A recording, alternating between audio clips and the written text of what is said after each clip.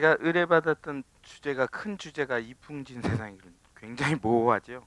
예, 기획하신 분이 세부적인 건 맡긴다는 의미에서 저렇게 하셨습니다. 그래서 세부적인 것은 과학기술의 발전 과정과 비, 비판적 전망이라는 주제로 제가 오늘 강의를 준비를 했습니다. 이를테면 과학에 대한 철학적 조망이에요. 어, 과학 시간은 아니고요. 철학 강좌인데 예, 과학 발전사를 쭉 훑어보면서 우리가 현대 과학을 어떻게 전망하고 비판적으로 염려할 것인가 이걸 좀 다루는 겁니다. 에, 과학의 에, 과학은 언제 시작되었나? 아, 이걸 먼저 좀 따져보죠. 우리가 과학하면 굉장히 이제 신뢰하고 합리적이고 그리고 우리가 과학의 신세를 지지 않고 살아가는 사람은 없지요. 과학이 처음부터 과학이라는 이름으로 시작한 것은 아니고요. 철학이라는 이름으로 시작됐던 음, 것입니다. 학문의 분화가 일어나기 전에요. 어, 어쩌면 철학의 최초의 물음은 좀 이따가 탈레스라는 사람 소개를 하겠지만 만물의 근원은 무엇인가? 존재하는 것 모든 존재의 가장 근원은 뭔가? 이걸 최초로 물은 게 이게 여기서부터 철학이 시작됩니다. 근데 오늘날 그 작업을 하는 사람은 철학들이 아니 철학자들이 아니에요. 그 작업을 하는 사람들은 물리학자들입니다. 그래서 어, 쿼크 입자니 뭐 이렇게 일반인들은 잘 알아듣지도 못하는 그 하여튼 존재의 가장 기본 물질들을 이렇게 탐구해 들어가는 그런 역할은 오히려 어, 이론 물리학자들이 하고 있죠.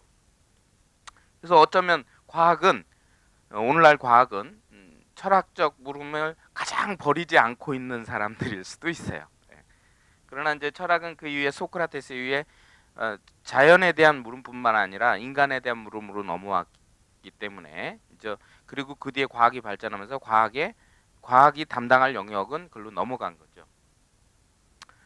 과학의 시원 언제부터 과학이냐 어, 따지고 보면 뭐 인류가 시작하면서 자연과 분리되면서 문화가 시작되고 어, 인간의 고유한 역사가 시작되면 그때부터 과학 같은 게 있지 않았을까 아주 열악하지만 그렇게 생각할 수 있지만 어, 인간 문명에서요 과학보다 먼저 등장한 건 기술입니다. 우리가 흔히 과학 기술 이렇게 묶어서도 얘기하지만 기술하고 과학의 차이가 뭐냐라고 했을 때 어, 과학은 일정한 그 법칙에 대한 가설을 세우고 그것을 응용할 수 있는 이론적 토대를 마련하는 거라면 기술은 그것에 대한 응용의 결과입니다. 그런데 이론이 먼저 나오고 응용은 그 뒤 아니냐? 우리가 보통은 지식에 대해서 그렇게 배웁니다. 그런데 실제적으로 발생한 건 기술이 먼저예요. 예를 들면 우리가 지렛대 아르키메데스가 지렛대의 원리를 수학적으로 계산하고 그것을 과학 이론화했을 때 그럼 지렛대가 그 이전에 없었냐?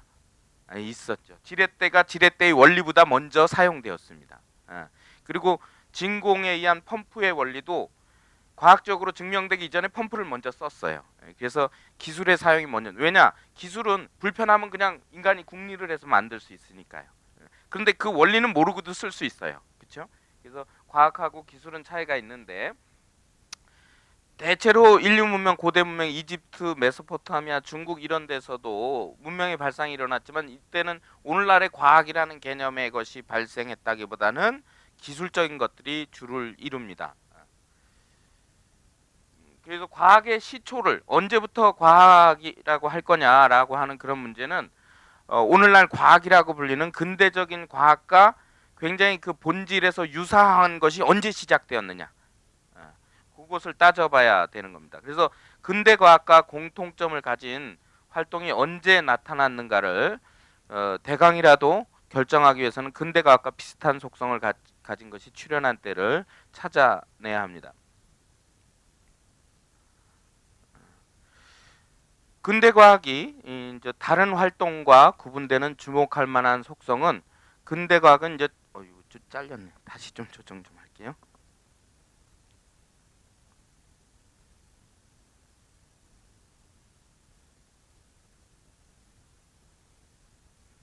근대 과학의 가장 중요한 특징은 합리적인 가설 또는 이론 체계를 만든다는 겁니다. 가설은요. 진리로 과학적 법칙으로 확정되기 전에 미리 구상해 보는 것이죠. 그래서 어떤 자연 현상이 일어났을 때 그것의 원인과 결과를 추론으로 따져서 그것의 정합성, 그러니까 그 원인과 결과가 아 그렇게 하면 일어날 수밖에 없겠구나라고 하는 이론을 미리 구상해 놓는 것이 이제 가설이다라고 할 수 있고 그 다음에 실험을 통해서 가설이 사실로 입증이 되면 그 다음에 그것이 이제 이론으로 구축되는 겁니다. 그러한 음, 과학 활동의 본질을 규명하기 위해서 어, 최초로 그런 것을 체계적으로 어, 연구한 사람이 예, 영국의 과학 철학자인 칼 포퍼입니다. 음, 포퍼라는 사람은 과학을 지식의 집합체로 체로 봐서는 안 되고 오히려 가설 또는 추측의 체계로 보아야 한다라고 주장했습니다. 이게 무슨 소리냐? 지식의 집합체. 과학이 지식이 이렇게 쌓이면 어느 순간 과학이 되고 이론이 되고 이런 게 아니라는 거예요. 엉뚱하게도 과학은 어, 새로운 아이디어 속에서 가설, 새로운 가설이 딱 등장하면 이전의 가설과 이전의 주장들과 대결을 하는 거예요. 예. 그래서 어, 새로운 가설, 새로운 추측의 체계가 과학의 에, 본질이다라고 생각을 합니다.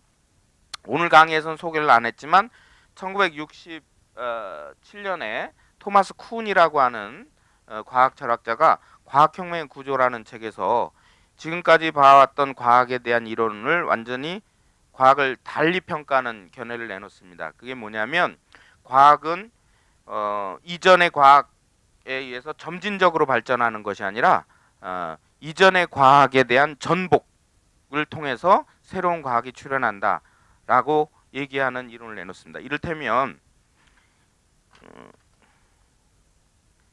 우리가 지식이라고 하는 것은 이전의 지식이 끊임없이 이렇게 축적이 되고 그래서 지식의 총량이 늘어남으로써 최종적으로 더 발달한 지식이 갖추어지는 것처럼 생각하고 과학도 그렇게 생각을 했습니다.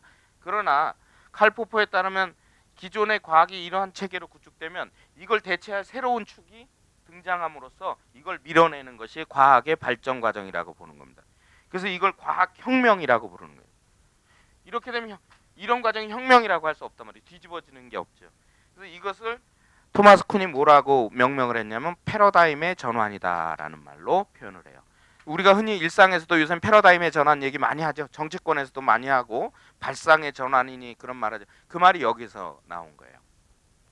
그런데 어, 그보다 훨씬 앞서서 포퍼도 어, 이와 똑같지는 않지만 비슷한 생각을 했었습니다. 그의 예, 포퍼에 따르면 과학 활동의 핵심은 과학 지식을 쌓아놓는 것이 아니라 즉 막 배우기만 하는 것이 아니라 자연을 설명하기 위한 가설의 체계를 만들어 나가는 거예요. 새로운 이론을 구축하기 위한 작업이 과학이라는 거예요. 그러니까 어, 과학 공부를 열심히 하는 것은 아직 과학이 아니라는 거예요. 이전에 과학자들이 뭘 했는지를 막 하는 건 아직 과학이 아니라는 거예요. 그러니까 이를테면 대학에 과학과 연관된 물리학, 화학 이런 학생들이 들어가서 공부를 하잖아요. 과학 공부를 하죠. 따지고 보면 그건 과학사를 공부하는 거예요. 이제 과학 활동은 이제 자기가 배운 걸 기초로 새로운 이론을 구상해 나가고 이러는 것부터 참다운 과학의 본질이 예, 이루어지는 거다. 물론 과학사를 공부하고 과학 이론을 공부함으로써 과학적 사유가 생김으로써 과학적 도전을 하게 되는 거죠. 그렇다면 이런 모델이 언제부터 등장했느냐? 예, 그것이 시작된 시기를 과학의 시원으로 얘기할 수 있는데 과학의 입장에서든 철학의 입장에서든 역사학의 입장에서든 최초의 과학은 고대 그리스에서부터 시작되었다라고 하는 데는 이견이 없습니다. 즉 저 포퍼가 얘기했던 기준에 의해서도 그렇고 자연을 어, 다른 초자연적 현상에 의해서 설명하지 않으려는 시도가 등장한 게 고대 그리스라는. 어, 아까 잠깐 언급드렸던 기원전 600년경에 예, BC 7세기죠. 최초의 철학자이자 과학자였던 탈레스가 등장합니다. 이 사람이 던진 질문이 만물의 근원은 무엇인가 라고 하는 거였어요. 자, 그런데 그 이전에 그런 궁금함을 안 가졌냐? 똑같은 질문이 아니더라도 인간이 사색을 하는 인간인 이상 그런 궁금함을 가졌을 겁니다. 뭐냐면 만물의 근원은 아니어도 우리는 어떻게 생겨났지? 그럼 오늘날에도 있잖아요. 애들이 꼭 물어보죠. 엄마 아기는 어떻게 생겨나? 그런 질문을 특수하게 나는 어떻게 생겨났어? 라고 하는 것이 아니라 우리 모두는 어디로부터 왔지? 라고 하는 물음을 던지는 것은 인류의 아마 가장 근원적이고 누가 가르쳐 주지 않아도 하게 되는 질문일 거예요. 왜냐?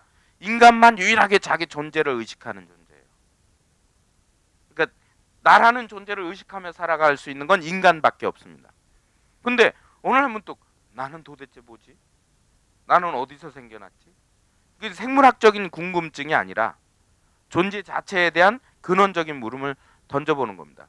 탈레스 이전에도 그런 물음은 있었을 거라는 거예요. 그런데 그 물음은 이전에는 어떻게 했냐? 그거를 형이상 아니 종교적인 것으로 주로 신화적인 것으로 많이 얘기했죠. 대개 신을 끌어오죠. 그래서 전 문명권 전 모든 문명권엔 다 고유한 신화가 있어요. 그 신화가 담고 있는 것은 대개 뭐냐면 그 민족이나 아니면 더 근원적으로는 인간이나 다른 존재들이 어떻게 생겨났나라고 하는 것을 다루고 있습니다. 그런데 신화의 특징은 뭐냐면 말하는 사람이나 듣는 사람이나 확증이 안 돼요. 그렇죠? 그러니까 이걸 거짓이라고 할 수도 없고 참이라고도 할 수 없고 문제는 그 얘기가 그럴 듯하면 믿는 겁니다. 그럴 듯하면 어. 이건 마치 어, 미래 점, 미래에 관해서 점을 보는 거랑 비슷해요. 제가 지난번 여기 강의에서도 잠깐 그 언급을 해드린 것 같은데 제가 이제 군대에서 고참들 성화이모니께서 손금을 볼때 음, 철학과 다니다 왔다니까 손금 보라고 그래서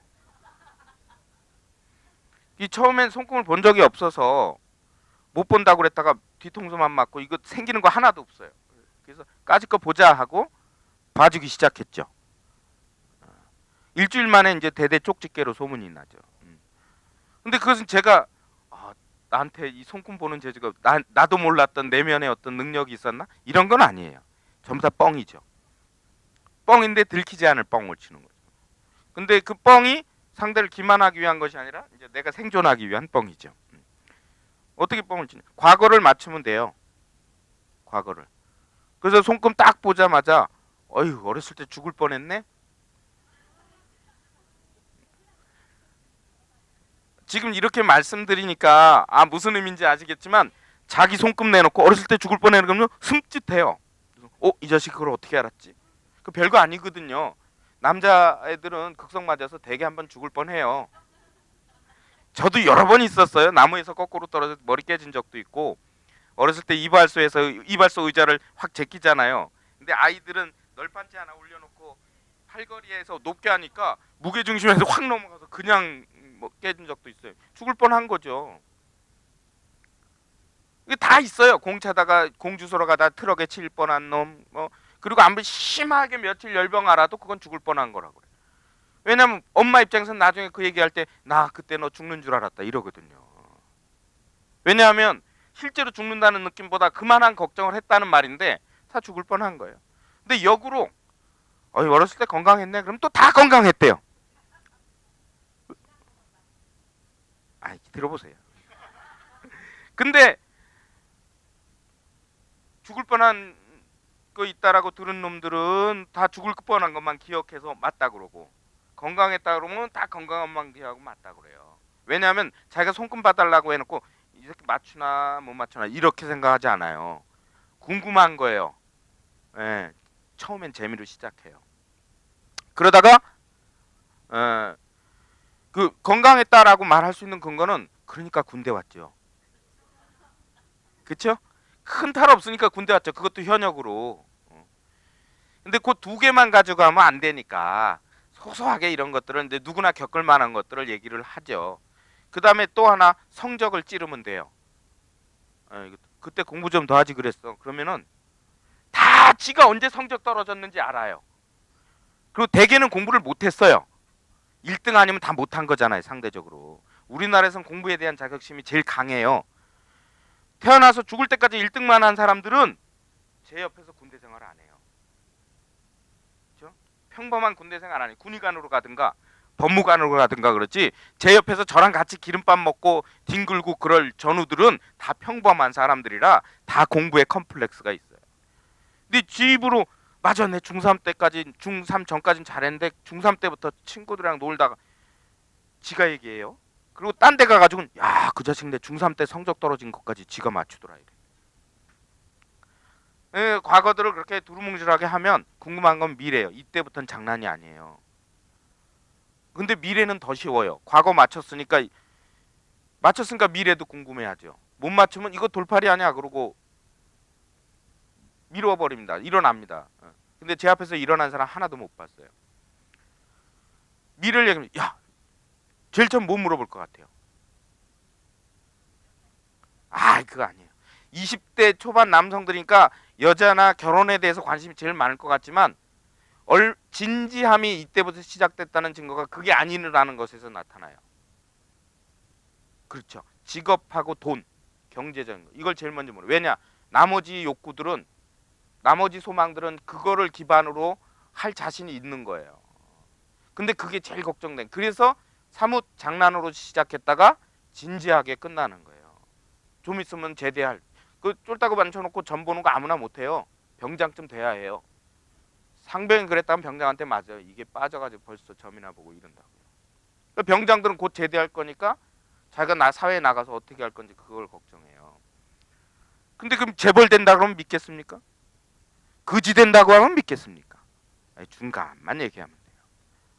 이 돈 벌겠냐고 물으면 큰 돈은 못 벌겠네 이러면 실망하죠. 거기에 덧붙이면 돼요. 그래도 남 신세는 안 지겠네. 그러면 에이 그럼 됐지 뭐 난 큰 욕심 없어.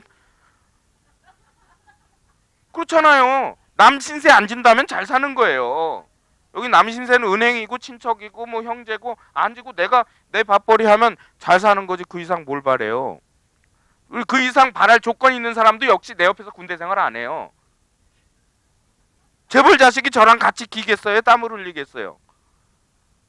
그러니까 평범한 사람들의 욕구를 너무 좌절시키지도 않고 너무 고양시킬 필요도 없는 거지. 결혼도 만 이쁜 사람이랑 하겠냐? 아이 뭐, 이- 뭐 그렇게 이쁜 그건 아니고 그러면 실망 턱 해요. 그래도 살수록 정드는 스타일은 되네. 그럼 그런 여자가 좋아하고 지들이 좋대요. 건강 건강은 어, 50 넘어서 둘째 여일 때쯤 건강 위기 온다고 딱 틀려요? 어? 맞는 얘기잖아요. 둘째 나올지 셋째 나올지 하나밖에 못 나올지 장가 자체도 못 갈지 모르지만 그 나이쯤 되면 다 건강 한번 체크해야 되는 거짓말은 아니지만 그렇게 얘기하면 굉장히 구체적인 사건을 미- 예측하는 것 같잖아요. 그러니까 쪽집게로 소문이 나죠.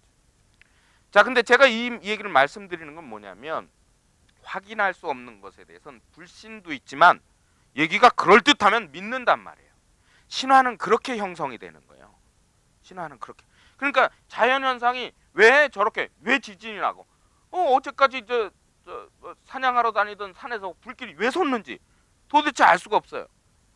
근데 거기서 그럴싸한 이야기를 꾸며대면 아, 믿기진 않지는 확인할 수는 없고 안 믿는다고 해서 자기가 대체로 내놓을 이론이 없잖아요. 그러니까 이야기로 그게 맞아떨어지고 그것이 신화가 되고 자연현상을 설명하는 겁니다. 우리 당군 신화에도 풍백, 우사, 운사 뭐 이런 거 나오잖아요. 어? 바람을 다스리고 구름을 다스리고 비를 다스리는 그런 관리들이 나오는 거 아니에요? 자연 현상을 신화적으로 설명하는 거예요. 그랬던 것이 이제 탈레스는 어, 그 그리스 같은 경우는 그리스 신화가 그걸 증명을 하죠. 포세이돈 바다 회일이 왜 이러냐? 포세이돈이 노했어. 우리 어부들 예전에 뭐 나가기 전에 용왕제, 용신제 뭐 이런 거 지내잖아요. 어, 용왕이 노하지 않아요. 태풍이 안 일어나. 다 그런 자연 현상을 설명한 거예요. 그게 몇 번이 맞느냐 어땠느냐 확인할 길도 없어요. 어, 그저 그냥 정성으로라도 안 하는 것보다는 혹시 나을지 모르니까 하는 거죠. 불확실성에 매달리면서 믿는 겁니다. 그래서 그것을 초자연적인 설명, 신의 활동이나 신의 의지 같은 것 그런 걸로 자연 현상을 설명하던 것에서 어, 자연 안에서 인과관계를 설명하려는 것 그것을 자연주의적 자연 설명이라고 합니다. 그래서 가설을 만드는 과정에서 아 이거 이렇게 해서 이런 현상이 일어날 것이다 라고 말하는 그런 과정에서 요구되는 추상적인 사고에서 우리는 소위 과학의 시초를 찾을 수 있다. 이를테면 어 이러려면 이제 자연 자체를 관찰하고 어 어떻게 이론을 만드냐? 지진이 자꾸 일어나요. 그럼 그 전에 그 자연을 관찰하죠. 나중엔 어떤 때 지진이 일어나나. 그 아직 과학적인 건 아니라 할지라도 다음에 이런 불행이 닥치기 전에 피할 수 있는 방법은 없을까? 궁리를 하게 되잖아요. 그럼 지진이 일어나기 전에 그러니까 보니까 꼭 저 산에서 바위들이 굴러 떨어지더라. 아직 지진이 시작되기 전에 아주 미세한 움직임이죠. 어 그랬더니 그 산은 화산이었어요. 그러면 어떤 경우는 화산 활동이 지진의 원인일 거다. 화산 활동은 왜 일어나는지 아직 몰라도 연동되는 자연 현상들을 가지고 관찰을 통해서 하나의 이론을 만들는 여기 신화가 개입, 개입 신이 개입되지 않아도 되는 거죠. 그래서 이- 동시대 이집트와 바빌로니아 같은 데서는 자연 현상을 초자연적인 것에 의존해서 설명을 하려고 합니다. 근데 아까 탈레스는 만물의 근원은 무엇일까라고 했을 때 그 근원을 물이라고 봤습니다. 이유는 생명이 있는 모든 것들은 물로 충만해 있는데 그게 죽는다는 건 말라 없어진다는 소리. 그래서 생명의 근원을 물이라고 봤고 또 어, 생명이 아닌 것도 물이라고 봤고 또 탈레스는 이 지구 자체가 흙, 대양 자체가 물 위에 떠 있는 것이라고 봤어요. 그러니까 어떻게 본 거냐면 실제 오늘날에 오늘날의 대륙이든 섬이든 사실은 바다 밑에서 물로는 다 연결된 거잖아요. 이게 바다고 이게 산이면 사실은 바다 밑에 있는 이게 다시 산이고 이러면 이게 섬처럼 보이잖아요. 근데 밑에는 다 어차피 땅으로 연결된 거잖아요. 근데 과거에는 심해를 못 들어가니까 어떻게 이게 탈레스 같은 경우는 물 위에 이게 떠 있는 거라고 생각을 한 거예요. 그리고 어, 지구 지구도 아니죠. 어, 지구 지구라는 생각 자체도 없었지만 어찌 됐든 이게 이 위에 육지들이 떠 있고 거대한 물이 이걸 떠, 떠받치고 있는 거다 이렇게 생각을 했습니다. 그러니까 존재한다는 건 뭐냐면 이 흙 위에 있는 거잖아요. 어, 그러니까 다 그걸 물이 떠받치고 있기 때문에 만물의 근원은 물이다 이런 생각을 하기도 한 거고요. 탈레스 자신은 철학자이기도 하지만 어, 오늘날로 치면 에게해 일대에서 에게해는 지중해 동쪽 끝 터키 있는 그쪽에 에게 일대에서 어, 중개 무역을 하던 사람이었어요. 그래서 돈을 많이 벌었어요. 그럼 그가 중개 무역을 하는 중요한 수단은 뭐예요? 배죠. 예. 도시 국가들을 이렇게 다니면서 그러니까 자기에게는 자기를 부자로 만들어준 것도 바다예요. 그러니까 물이 중요한 거죠. 심지어 나중에 죽을 때는 물에 빠져 죽어요. 이렇게 달을 관찰, 하늘을 관찰하다가 밑에 우물이 있는 걸 모르고. 어. 그러니까 이게 탈레스는 그래서 천상 자기 위- 위험도 모르고 생각에 빠지면 천구를 관찰하고 자연 현상을 관찰했던 그런 사람이죠. 그래서 그런 것은 어, 어, 이를테면 어, 존재의 근원을 신이 창조했다거나 누가 만들어냈다거나 이런 것이 아니라 물로부터 나왔다. 물은 자연이잖아요. 자연에서 그 원인을 설명하려는 시도를 갖고 있었다라는 거예요. 그래서 어, 지진이 일어나는 것 어떻게 보냐면 바다 위에 떠 있는 땅이 파도에 의해서 흔들리기 때문에 지진이 일어난다고 본 거예요. 그러니까 오늘날과 같은 지구 개념이 없을 때는 그나마 신화적인 것보다 훨씬 그럴싸하잖아요. 그렇죠? 근데 평소에도 파도는 치는데 왜 안 흔들리냐? 그건 작은 파도고 땅을 흔들어 놓을 만큼 큰 파도가 치기 때문이다. 실제로 지진이 일어나면 해일이 일어나잖아요. 예, 쓰나미가 일어나죠. 그거 같은 현상으로 본 거예요. 예. 근데 그것을 지금은 쓰나미가 사실은 오늘날의 과학적 상식으로는 지각이 흔들렸기 때문에 그 때문에 물이 출렁한 거예요. 이를테면 다라 다라에 있는 물이 다라가 흔들렸기 때문에 물이 출렁한 건데 물이 출렁해서 다라가 엎어진 것처럼 거꾸로 생각을 한 것뿐이죠. 어. 그렇게 설명을 한 것은 그나마 어, 포세이돈이 화나서 그래 라고 하는 것보다 훨씬 합리적인 설명이죠. 그래서 자연 현상을 자연에서 발견할 수 있는 것을 이용해서 설명하려는 것. 이것이 오늘날 근대 과학의 정신하고도 다 있는 최초의 과학적 사유의 출현이다라고 보는 겁니다. 그리고 그 탈레스를 비롯한 초기 자연 철학자들의 주장은 어, 특징은 뭐냐면 자기 주장을 다른 사람의 것보다 더 설득력 있는 것으로 만들기 위해 노력했던 거예요. 내 얘기만 막 한 게 아니라 다른 사람 얘기 들어봐서 거기에 허점이 뭔지 생각해서 자기 이론을 추가해서 어, 보완하려고 했던 거예요. 이게 뭐냐면 가설을 더 완벽하게 만들려는 그런 노력이었다는 거죠. 그래서 이, 이, 이, 이 탈레스가 밀레토스라는 지역의 예, 사람이었는데 그래서 밀레토스의 자연 철학자들은 전부 다 탈레스 이후로 저런 방식으로 여러 사람 있지만 다 설명하기는 어렵고요. 예. 근대 과학의 예, 초기적 모습이 등장했다. 근데 어, 왜 그리스에서는 저런 사회가 발전하고 메소포타미아나 이집트나 또는 중국이나 고대 문명들에선 저런 사회가 발전하지 않았느냐? 다른 지역의 특징은요. 오늘날로 치면 1인 군주가 지배하는 사회였어요. 그리고 대개 신정 일치 사회.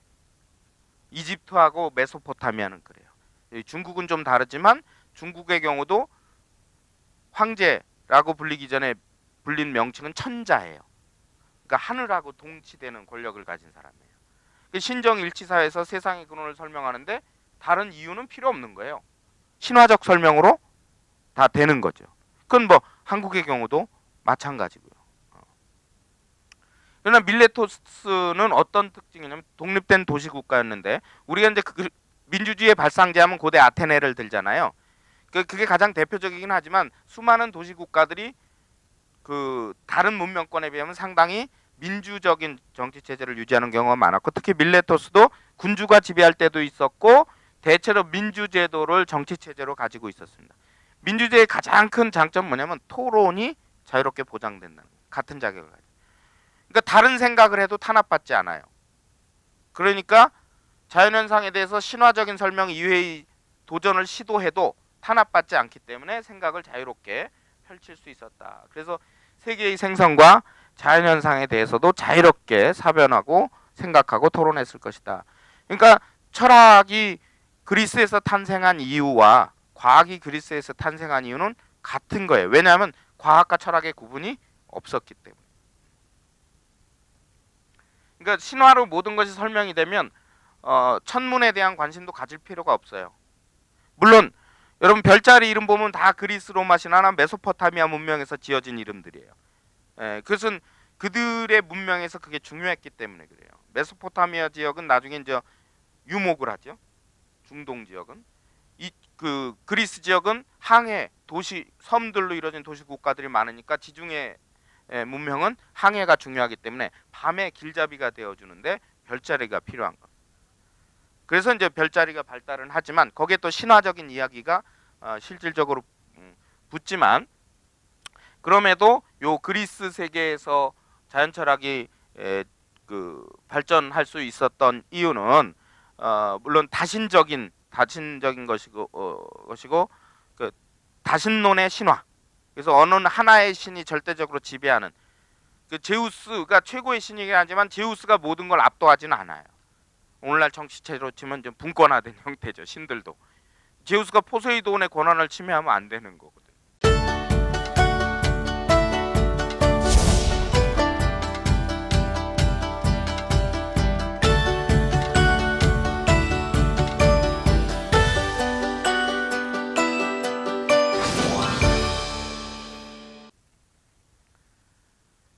고대는 이래서 그래, 어, 그리스 지역에서 과학이 출현하는 이 배경이 되고요. 그래 이제 중세에서 어, 그다음 따져볼 게 이제 중세입니다. 시기적으로 쭉 따져보면 중세 시대에는 학문이 정체기를 이룹니다. 중세 초부터 보통 중세를 5세기 476년과 서로마 제국이 멸망해요. 그리고 15세기까지를 중세로 잡습니다. 동로마 제국의 멸망까지. 음. 그러니까 정확히는 비잔티움 제국 의 멸망까지를 어, 천년 중세 천년이라고 이야기를 하지요. 음. 근데 에, 중세 초, 초부터 5세기경부터 10세기경 건 5, 600년 가량은 학문의 불모 시대라고 할 수 있어요.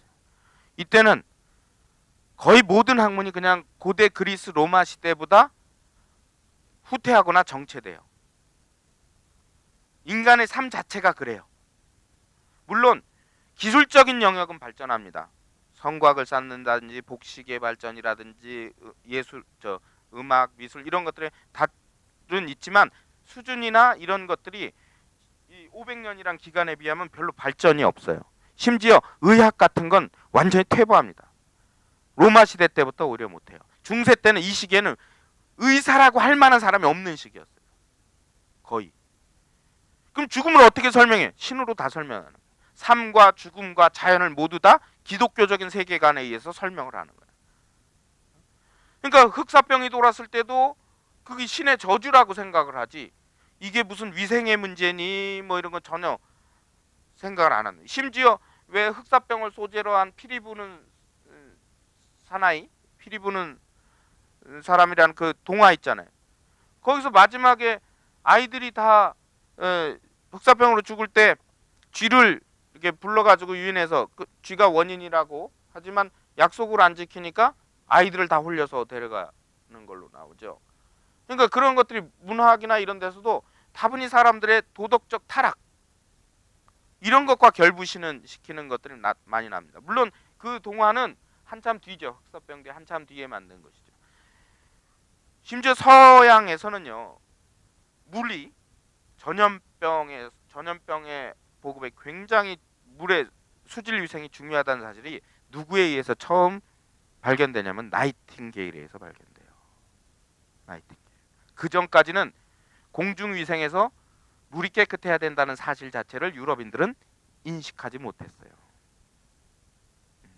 그러니까 나이팅게일의 위대함은 전쟁의 위험 속에서 헌신한 간호사의 표상일 뿐만 아니라 자기 나름대로는 의사 이상으로 체계적으로 병에 대해서 골몰이 여기고 환자들이 잘 낫거나 낫지 않거나 이런 것들을 관찰을 통해서 아 이게 좋은 물을 써야 되는구나 좋은 물만 있어도 소독에 훨씬 용이하고 어, 그렇다는 것을 알게 되는 거죠. 그래서 예, 신화적인 음, 그 가치관이 신화적 이데올로기가 시, 종교적 이데올로기가 매우 강하면요 객관적 합리적 사유는 위축되게 마련. 그러나 그 중에서도 기술은 굉장히 발전해요. 어, 과학은 발전하지 않는데 기술은 이를테면 과학은요 자칫하면 신이 설계한 세계에 대한 새로운 도전이잖아요. 그렇죠? 신은 이렇게 만들었는데 과학은 아니야 이거야라고 말하면 과학자가 신이 하던 역할을 대신하는 거니까 목숨 걸고 해야 돼요. 그 아리스토텔레스 이후로 몰래 자기 연구를 하던 과학자 오늘날로 치면 과학자지만 연금술사라는 사람들이 있어요. 연금술은 뭐냐면 금이 아닌 걸 금으로 만드는 기술이에요. 그걸 찾는 거예요. 왜 그런 생각을 했, 그런 아이디어를 생각했냐면 금은 오늘날로 치면 순도 99% 이상의 물질이기 때문에 그건 합성이 안 되는 거잖아요. 그땐 그걸 몰랐죠. 근데 왜 그런 생각, 금을 만들겠다는 생각을 했냐면 아리스토텔레스라는 철학자가 만물의 근원은 물, 불, 공기, 흙이라고 그랬어요. 근데 이 중세 전반기, 후반기까지 아니, 전반기는 아리스토텔레스가 아니고 후반기에도 어, 아리스토텔레스의 에, 과학이 지배적이었습니다. 근데 물, 불, 공기, 흙 거기엔 금이 없잖아요. 그러니까 사람들의 욕심에 어 그럼 금도 만들 수 있겠네. 아리스토텔레스의 사고 속에서는 물, 불, 공기, 흙만 순수 물질이고 나머지는 다 합성이에요. 그래서 금을 만들려는 노력을 했는데 새로운 물질을 만들어낸다는 것은 종교의 입장, 교회의 입장에서 보면 신의 창조적 활동에 도전하는 거예요. 오늘날로 치면 마치 인간 복제를 하면 종교계에서 반대하는 거랑 똑같은 이치. 그러니까 몰래 하는 거예요. 몰래 했는데 금은 못 만들죠. 근데 사람들이 하는 짓들이요. 원래 목적했던 걸 못 얻는다고 해서 아무 성과가 없질 않아요. 늘 이상한 결과물이 나오는데 그게 의외로 놀라운 것들이 될 수 있어요. 그게 나중에 화학으로 발전하는 겁니다. 그러니까 근 현대의 과학, 현대 물품 중에도 그런 거 많아요. 여러분 나일론이 안 들어가는 영역이 없죠. 나일론은 기적의 섬유라고 불렀어요. 그러니까 맨 처음에 나일론 스타킹이 나왔을 때 뉴욕에서 나일론 스타킹 대리점에서 여성들이 그 스타킹을 사려고 반나절을 줄 서야 됐었어요. 반나절. 실크 스타킹보다 훨씬 싼 데다 훨씬 오래 신고. 광택도 그 못지않고. 근데 그 나일론 듀폰사가 다른 실험하다 생긴 찌꺼기예요. 다른 걸 만들려고 했다가 찌꺼기가 나왔는데 연구원 한 명이 그걸 보고 아 이 섬유와 성질이 비슷하다 해가지고 나온 겁니다. 그러니까 그런 것처럼 연금술은 그걸 통해서 근대 화학이 왜냐하면 연금술은 여러 가지 물질들을 합성하고 막 이런 작업들인데 화학이 하는 일이 그거잖아요 근데 에, 예, 그 그렇지만 기술을 변형하는 건 신의 영역에 도전하는 건 아니에요. 새로운 물질을 만들어내는 건 신의 영역에 도전하는 거지만 기술은 신의 영역에 도전하는 게 아니에요. 왜냐하면 있는 거를 재조합하는 거니까. 그래서 기술은 발전합니다. 기술 발달의 촉진 요인, 과학은 발전하지 않지만 기술이 발전하는 요인은 첫째, 로마 제국이 세계의 지배권을 상실한 결과 외부로부터 노예 유입이 줄어듭니다. 즉 로마 시대 때는 세계 정복을 하면서 정복한 민족에서 전쟁에 패한 포로들을 다 노예로 만들죠. 그러나 중세가 시작되면서 로마가 몰락하고 나선 그럴 노예 유입이 없어요. 둘째, 인간이 신 앞에서 평등하게 창조되었다는 기독교 교리도 중세의 노예 사용을 줄입니다. 그래서 중세는 그럼 노예가 없었냐? 없지는 않았지만 대개 노예가 대표기보다는 농노라고 하는 신분으로 노예와 소장농의 중간 형태의 신분으로 어, 자리 잡죠. 그렇게 암흑기를 거쳐서 과학이 다시 싹트기 시작한 것이 이제 이른바 르네상스 시대입니다. 르네상스라는 말은 네상스가 탄생이에요. 어, 프랑스어로 탄생인데 르가 뭐 다시예요. 어, 다시 탄생했다. 무엇이 다시 탄생했냐? 고대의 중세의 것이 아니라 고대적인 것이 다시 부활했다. 그 고대적인 건 그리스 로마적인 걸 말합니다. 그리스 로마의 문화와 사상의 특징은 인문주의예요. 무슨 소리냐? 그리스 로마 신화는 신화조차 인간적이에요. 그러니까 그리스 로마의 신들은 어, 인간보다는 초월적인 존재지만 전지전능하지 않아요. 그리고 매우 약점이 많아요. 그리고 뭐 기독교의 신이나 이런 경우는 전지전능하고 전선하고 무소부지하고 뭐 이런 걸 갖춰요. 완전 완전한 존재지만 그리스 신들은 덕성도 부족해요. 어떤 경우에 제우스는 소문난 바람둥이에요. 예. 자기 마음에 들면 뭐 신이든 여신이든 뭐 뮤즈든 인간이든 가리지 않아요. 그러니까 헤라가 제우스의 와이프인 헤라가 가정의 여신이거든요. 여러 가지 역할이 있지만 그 중에 하나가 가정의 여신이에요. 제우스가 오죽 가정을 버렸으면 헤라 자신이라도 지키려고 했을 거예요. 그러니까 그 신들의 면모가 인간적이에요. 그래서 그리스의 문화는 전부 다 인간적인 것을 긍정하고 찬양하는 데 있습니다. 그래서 그리스의 조각들을 보면 전부 다 벗고 있죠. 그들이 야한 걸 좋아해서 그런 게 아니에요. 인간의 몸이 아름다운 대상이라고 인정을 하기 때문에 감춰야 될 대상이 아니고 드러내야 될 대상이라고 보는 겁니다. 근데 중세 때 그림은 오늘 중세 예술까지 말씀드릴 수 없지만 중세 때 그림은 전부 다 칭칭 감아요 사람. 그것도 모델이 될 수 있는 사람은 교황이나 이런 성 성스러운 지위를 인정받은 사람은 평범한 사람은 미, 예술의 대상 모델이 되지 못해요. 그래서 성모 마리아와 아기 예수를 소재로 한 피에타 상이 제일 많고요. 아니면 교부들 오늘날 치면 교황들이죠. 성인이라고 불리는 사람들 초상화 이런 거밖에 없어요 사람. 그 다음에 풍경이나 이런 것들은 어, 신화적인 이야기들을 모티브로 한 거 이런 거밖에 없습니다. 근데 르네상스 들어오면 주인공이 사람으로 다시 바뀝니다. 대표적인 게 뭐예요? 모나리자죠. 모나리자 같은 경우는 평범한 여, 여인이에요. 평범한 여인을 그전에 여자가 그림의 소재가 된다. 딱 둘이었어요. 아프로디테하고 로마로 치면 비너스예요. 로마 신화에선 비너스, 그리스 신화에선 아프로디테, 미의 여신이에요. 이 둘하고 또 성모 마리아 이 셋만 여성 모델이었어요. 근데 이 거기에 모나리자가 등극을 한 거죠. 이제 인간 평범한 사람도 아름다움의 대상이 될 수 있다. 그리고 칭칭 감았던 옷이 벗겨지고 심지어 미켈란젤로의 시스티나 성당에 있는 천장벽화 천지창조에는 신 다시 하나님하고 아담이 등장하는데 다시 벗죠. 광고에도 많이 나와서 아담하고 신하고 손가락 이렇게 마주치고 있는 장면. 거기 신 뭐예요? 인간의 모습을 하고 있어요. 얼짱이죠 또. 복근까지 있어요. 얼굴은 할아버지인데. 예. 인간의 몸을 찬양하는 게 르네상스에 다시 등장하는 겁니다. 고대 그리스 로마 시대의 미적 기준은 비례, 균형, 조화 이게 또 다시 등장해요. 그러면 이제 무너져 가고 있지만 파르테논 신전 지금 보수 중이라는 파르테논 신전 보면 좌우 대칭이니 균형이니 이런 게 잘 돼 있는 걸 볼 수 있어요. 비너스 상도 마찬가지예요. 로마 시대까지 이어졌을 때 비너스 상이 이게 어, 미술에서 걸 토로소라고 그래요. 팔다리가 잘린 형태의 조각을. 현대 미술가들이 또는 복원가들이 저 원래 팔 모양은 어떤 걸 했었을까라고 끊임없이 시뮬레이션을 하는데 어떤 포즈로 손을 나, 손의 나머지 모습을 연장해서 하더라도 현재의 모습보다 아름답지 않다고 그래요. 그만큼 그리스 로마 시대는 완벽한 균형 조화 비례 이런 것들을 생각을 했습니다.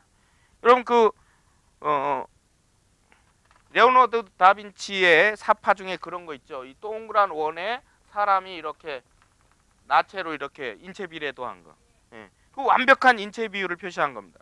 그게 뭐예요? 르네상스의 정신이 고대의 균형 비례의 정신을 계승하고 있음을 보여주는 것이다 라고 할 수 있는 거예요. 그래서 당연히 근대 근이 르네상스 시대는 고대의 인문주의적이고 또 자연에 대한 객관적인 그리스적 탐구 정신 이것이 다시 부활하는 겁니다. 그래서 무엇이 부활하는 고대적인 것이 다시 부활한 거다. 그래서 이 비로소 이제 과학에서도 중 어, 그런 변화가 일어납니다. 그래서 르네상스 시기의 특징은 첫째 스콜라 학풍의 번역과 주해 이 스콜라 학풍의 번역은 이제 고대 스콜라 학풍이 학문하는 방법이에요. 그리스의 원전 자체를 중시하는 경향이 나타나는데 이게 무슨 스콜라 학파라는 것은 토마스 아퀴나스를 대표로 하는 어, 중세 후반기의 철학 사조예요. 근데 스콜라라는 말은 무엇하고 어원이 같느냐면 schol, scholar, school, 뭐야 학교, 학자랑 스콜라랑 같아요. 그러니까 뭘 하느냐면 연구하는 학자들이란 뜻이에요. 근데 어, 우리 말에 탁상공론이란 말 있죠? 이 탁상공론 누가 해요? 학자들이 하는 거예요. 학자들이 책만 놓고 씨름하는 거예요. 현실을 관찰하기보다는.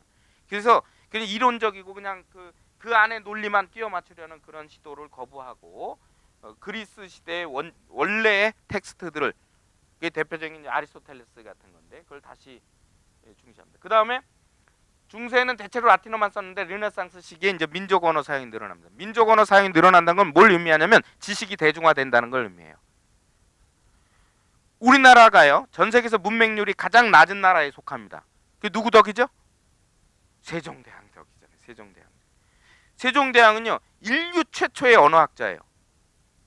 그냥 제가 우리 선조라 얘기를 하는 게 아니라 그건 세계적인 언어학자들이 말하는 거예요. 서구의 언어학이라는 것이 처음 등장하는 게 19세기예요. 그 언어학의 시작을 보통 소시르의 일반 언어학 이론이 발표되고 나서예요.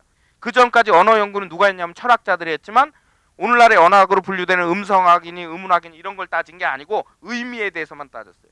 그러나 세종대왕은 이미 15세기에 음성학, 의문학, 발성학 이걸 다 체계적으로 연구하고 그걸 기초로 어, 후민정음을 만든 거예요. 이게 천재죠. 어. 근데 에, 우리가 세종대왕이 우리 말은 있었지만 언어의 완성은 문자까지예요. 근데 우리 민족 언어는 비로소 세종대왕 때부터 우리 민족 언어가 다 갖춰지기 시작했다. 그 그래서 결국 우리 우리 민족의 고유한 언어를 가지고 중국과는 구별되는 문화를 지금까지 이어져 오게 만들 수 있다는 거예요. 우리가 유교 하나만 가지고 중국의 것을 계속 따랐으니까 중국 문화권이라고 생각할 이유가 없는 겁니다. 특히 정부화 시대로 나아가면 그것이 더 확연히 두드러지죠. 세계 언어학자들이 정부화 시대에 가장 적합한 언어로 한글을 꼽아요. 왜냐하면 한글은 그 자체로 의미를 담을 표현하는 한국의 언어이기도 하지만 전 세계 모든 문자의 발음 기호가 될 수 있다. 표기 못할 소리가 없어요 한글은. 그렇기 때문에 실제로 우리가 영어 맨 처음에 배울 때 했던 라틴어에서 기인한 발음 기호 표시보다 한글이 훨씬 더 정확하다. 그러니까 말은 있지만 문자가 없는 나라에 한글을 수출했잖아요.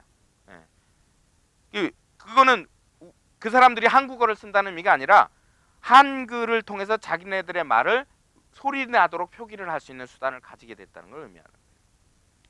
그러면 결국 뭐냐면 많은 사람이 에, 어려운 라틴어가 아니라 편안하게 자기네 나라 말로 책을 읽을 수 있고 학문 연구를 할 수 있게 됐다라는 걸 의미합니다. 이것은 민족 언어의 사용은 과학뿐만 아니라 종교 개혁에도 매우 큰 영향을 끼칩니다. 루터 독일의 종교 개혁가 마틴 루터가 종교 개혁을 하면서 했던 작업 중에 하나가 라틴어 성경을 독일어로 번역한 거예요. 이 성경을 라틴어로만 보면 소수의 성직자들과 귀족들이 다수의 민중들을 지배하는 수단으로 써요. 성경에 이런 말이 있어. 그러니까 내 말 들어. 사기치는 거죠. 그러니까 면 극에 달한 게 면죄부예요. 마치 면죄부라는 것을 사면 잘못을 했어도 천국 가는 것처럼 마치 그게 성경에 근거한 것처럼. 근데 대중들이 알면 이거 그런 얘기 없던데라고 하면 그런 사기를 못 치잖아요. 그래서 독일어 성경을 번역을 하고 그걸 인쇄한 게 구텐베르그의 인쇄기입니다.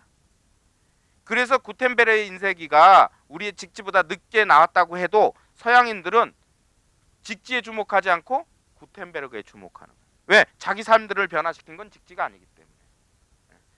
그래서 기술 소재의 발견은 우리가 앞서 있지만 역사를 바꾼 것은 구텐베르그의 인쇄술이다. 제가 우리 문화를 폄하하려는 것이 아니라 객관적으로 봐야 되는데 자꾸 세계 최고만 자랑하는 게 이거 컴플렉스예요.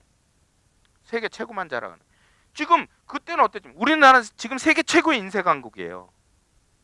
한때는 전 세계 무 무역 인쇄 그러니까 인쇄물 수출 이 그의 70%를 한국에서 했었어요. 음, 엄청난 인쇄 강국. 그러니까 그런 컴플렉스에 안 빠져드는 세계 최고의 금속 활자 꼭 그렇게까지 그거보다 더 위대한 게 있어요. 시- 통일 신라 시대 때 이미 목판 활자 했잖아요. 무구정강 다란이경. 어.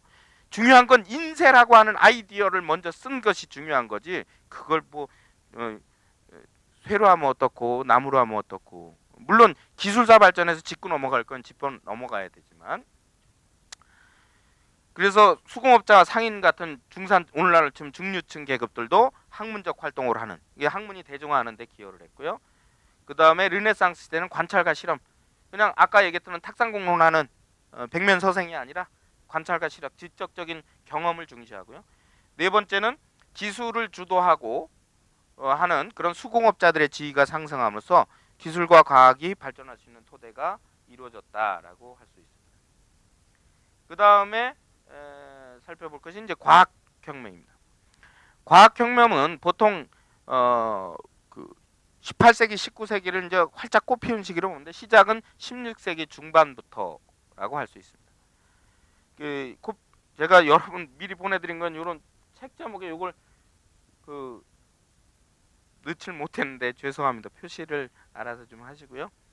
천구의 회전에 관하여라는 책이 발표된 게 1543년. 아, 이것도 요, 여기까지가 책 제목입니다. 1543년에 나옵니다. 1543년은 코페르니쿠스가 죽은 해예요. 코페르니쿠스는 폴란드의 신부였습니다. 사제였어요. 근데 저거를 자기가 쓴 것은 훨씬 전인데 출판을 저때 했어요. 친구한테 부탁해서 자기 죽고 나면 출판해라. 그리고 그걸 교황성학께 바쳐라. 그랬어요. 그 이유가 뭐냐? 자기가 살아 있을 때 출판하면 죽기 때문에. 네. 그렇지만 저게 진리라고 믿기 때문에 자기가 제일 존경하는 교황성학께 바쳐서 교회가 진리를 알고 있어야 된다. 진실을 알고 있어야 된다라고 생각을 한 거예요. 그러나 그 뒤에 저 이론을 수용했던 이탈리아의 브루노라는 사람은 코페르니쿠스의 주장을 반복하다가 화형을 당해요, 실제로. 그래서 나중에 성 브루노라고 불립니다. 그거를 갈릴레오 갈릴레이가 목격을 하고 교황의 종교 재판에서 교황청의 종교 재판에서 자기 입장을 번복한 거예요. 그러나 갈릴레오 갈릴레이도 평생 다 용서받은 게 아니라 평생 연금 상태로 연구를 집 밖에 못 나가요. 그 재판 끝나고. 그래서 우리가 알고 있는 갈릴레오 갈릴레는 그 재판 전이에요. 다 피사의 사탑에서 실험을 했다거나 뭐 이런 것들이 다 실험을 했는지도 사실은 의, 의, 의의를 제기하는 사람도 있지만 그 다음에 어, 우주론과 천문학에선 아리스토텔레스 프톨레마이오스의 지구 중심 우주 체계가 어, 코페르니쿠스와 케플러의 태양 중심의 우주 체계로 완전히 바뀐다. 이게 아까 얘기했던 토마스 쿤이 패러다임의 전환의 사례로 제일 먼저 꼽는 거예요. 그러니까 태양을 지구를 중심으로 우주를 설명했다가 아무도 태양을 중심으로 우주를 설명해야 된다라는 생각을 못할 때 발상의 전환을 한 거죠. 코페르니쿠스가 왜 그랬냐? 자기가 나름대로 천구를 늘 천체를 관측을 하다 보니까 뭔가 계산이 안 맞아요. 행성 간의 주기가 지구를 중심으로 도, 우리가 보는 게 지구 위에 있으니까 당연히 날 중심으로 보게 되잖아요. 그랬더니 안 맞아요. 그런데 항상 다른 행성들은 위치가 다 변하는데 계절에 따라 변하는데 태양만 안 변하는 거예요. 그럼 저걸 중심으로 한번 놓고 볼까 계산을 했더니 정교하진 않지만 오차가 굉장히 많이 줄어든 거예요. 그래서 태양 중심설을 제기를 한 겁니다. 그렇지 않으면 이 천체의 움직임이 설명이 안 되니까. 프톨레마이오스는 AD 1, 2세기 무렵 이집트에서 활동했던 천문학자고요.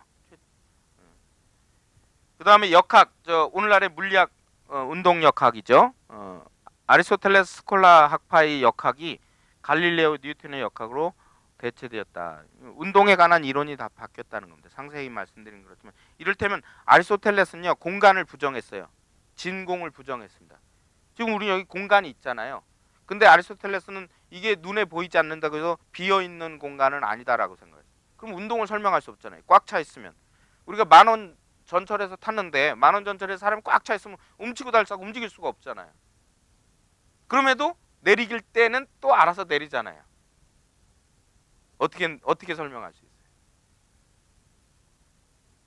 우리가 전철에서 만 원 전철에서 내릴 때 시흥시에는 만 원 전철이 없.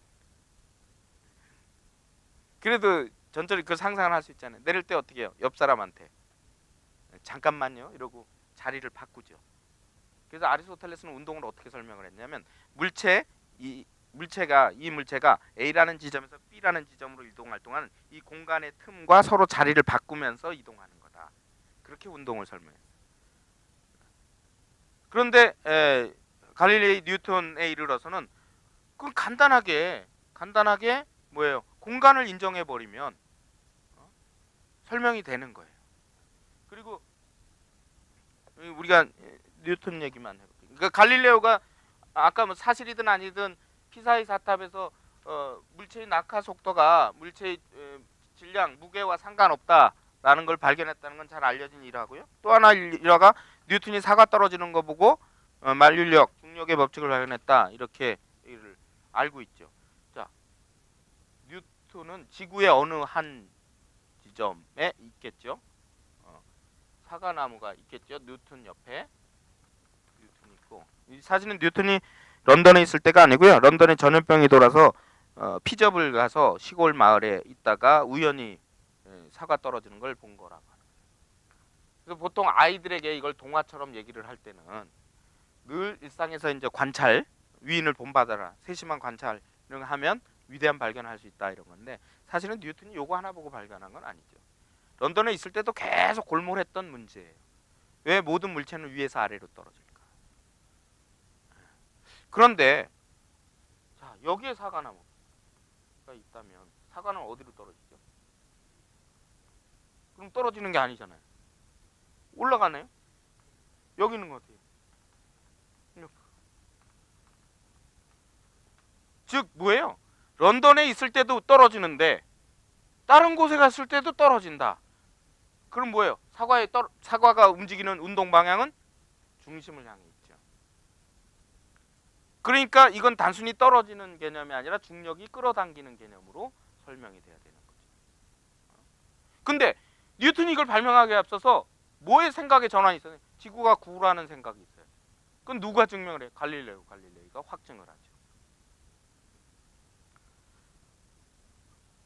그러니까 이렇게 고전적인 이론들이 하나하나 오늘날에는 상식이 돼 버린 것들이 이 시기에 이제 베일이 벗겨지는 겁니다. 그 다음에 생리학 면에서도 어, 갈레노스라는 이 갈레노스는 고대 로마의 의사예요. 에, AD 2세기 무렵 의 사람이고 실제 해부도 어, 해부학을 했던 사람이고 근데 이때의 해부의 개념은 근육과 신체 장기 중심이 되겠죠. 하비는 혈액 순환에 관해서 처음으로 가설을 내놓은 사람이에요. 그러니까 근대 의학의 어떤 중요한 전기를 이룬 사람이죠.